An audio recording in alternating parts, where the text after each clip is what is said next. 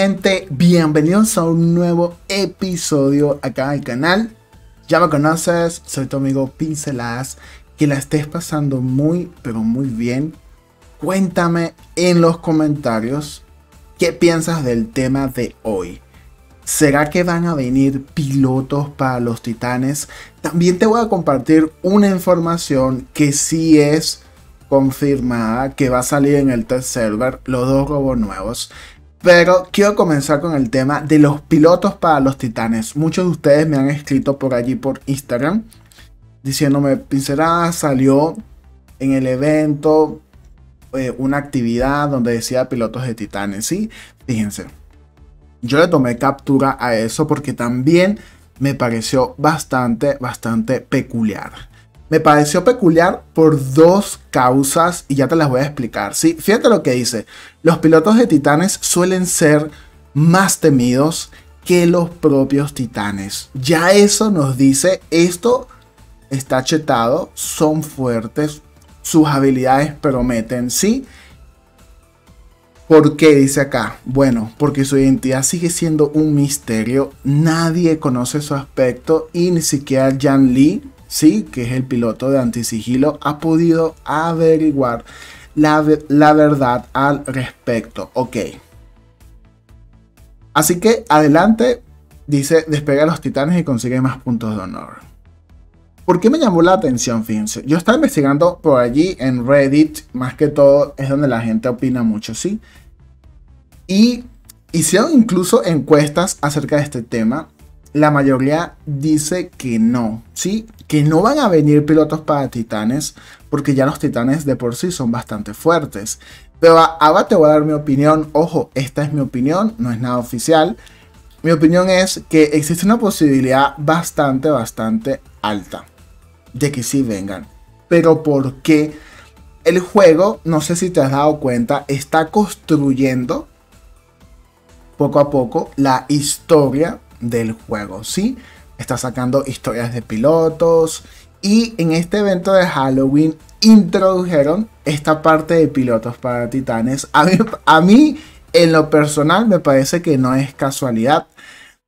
El otro punto es que realmente últimamente los titanes que han sacado no han sido eh, lo que el juego esperaba, ¿sí?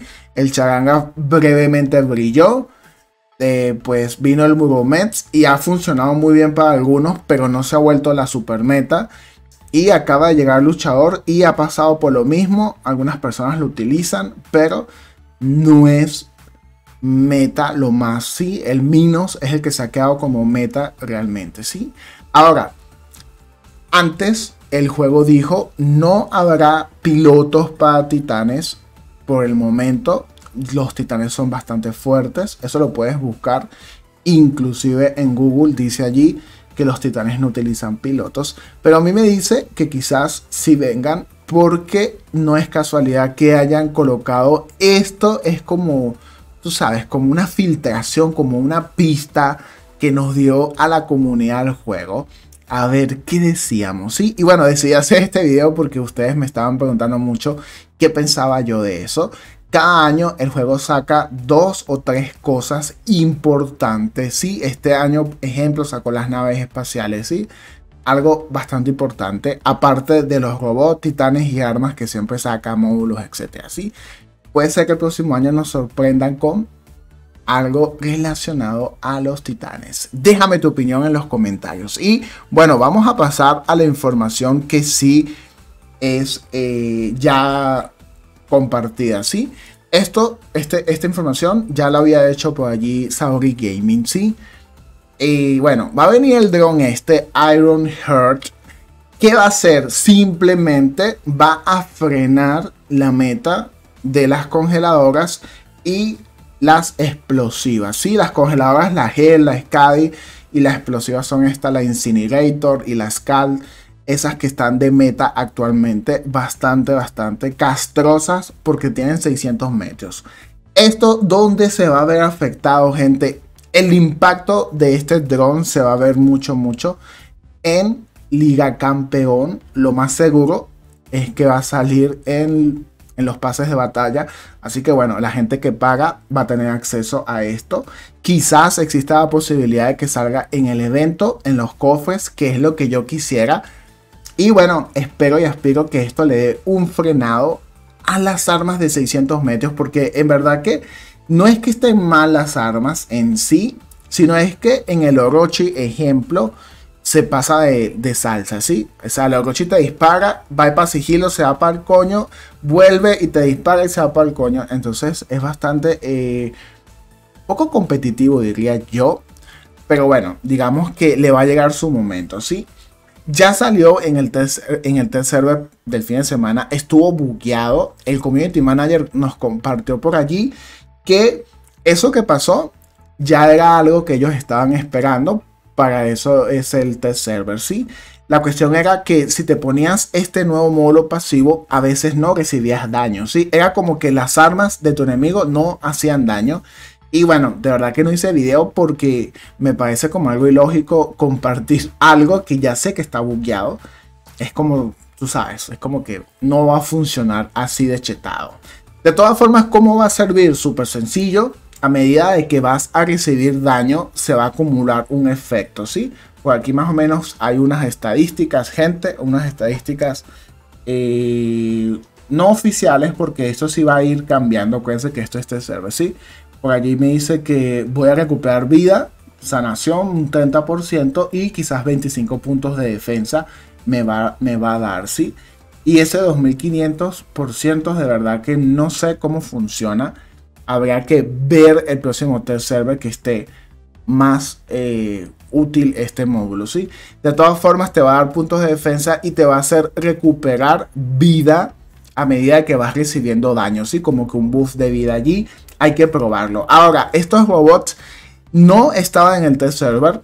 Como les digo, estaba un poco bugueado. Pero van a ser dos a la final. Es como el yin y el yang.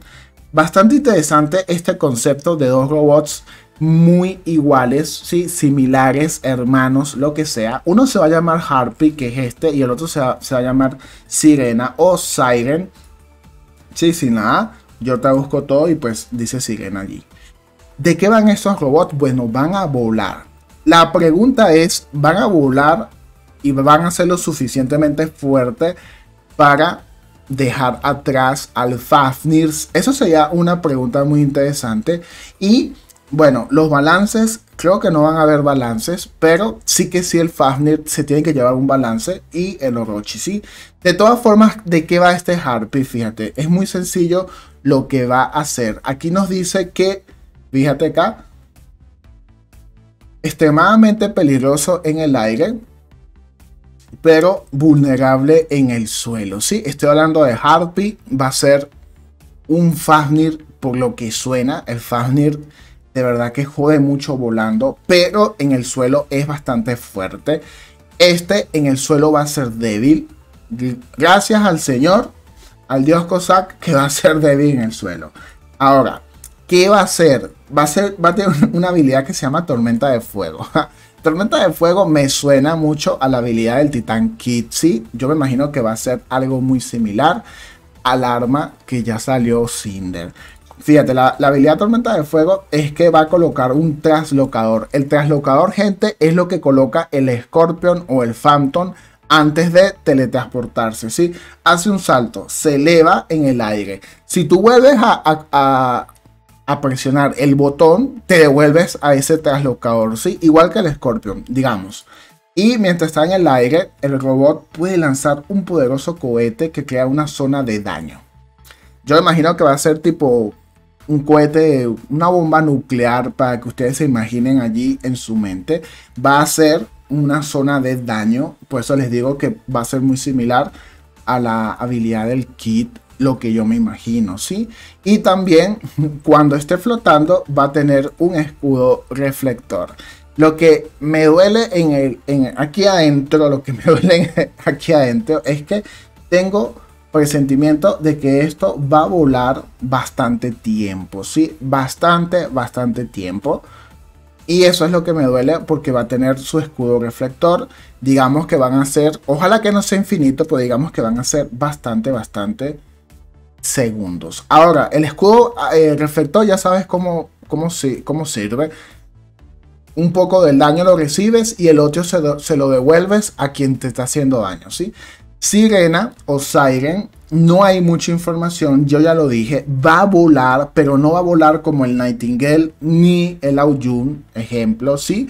Por lo cual me hace pensar que va a volar mucho más rápido, ¿sí? Porque Nightingale tiene un vuelo fluido y el Aoyun también. Va a funcionar un poco diferente, ¿sí? Durante el vuelo va a estar protegido, pero va a seguir siendo vulnerable. Un escudo reflector o que se inventen otro tipo de escudo, pero algo me dice que va a ser el escudo reflector. Y sí que va a tener un arma incorporada que también va a ser un daño de área. Por allí les puedo decir que quizás el daño de área sí va a ser como la habilidad del Titan Kit, ¿sí? Muy similar a la habilidad del Titan Kit. El Nightingale se eleva y hace un círculo de sanación. Este quizás va a ser un círculo de daño. Ojo, por allí les puedo decir, eso no es oficial lo que les estoy diciendo, sino por allí escuché esa parte. ¿Sí? De verdad que estos robots a mí en particular me parece que pues van a venir en diciembre fuertes, pero si no le hacen un balance al Fafnir, el Fafnir va a seguir siendo meta porque tiene mucha velocidad y tiene vuelo infinito y traspasa escudos. Lamentándolo mucho, el, el escudo reflector no lo traspasa, pero digamos que va a ser bastante interesante ver la lucha en el aire quién va a dominar la meta en el aire. Déjame en los comentarios qué piensas tú. Gente, me despido y que la sigas pasando muy bien. Se les quiere. Bye bye.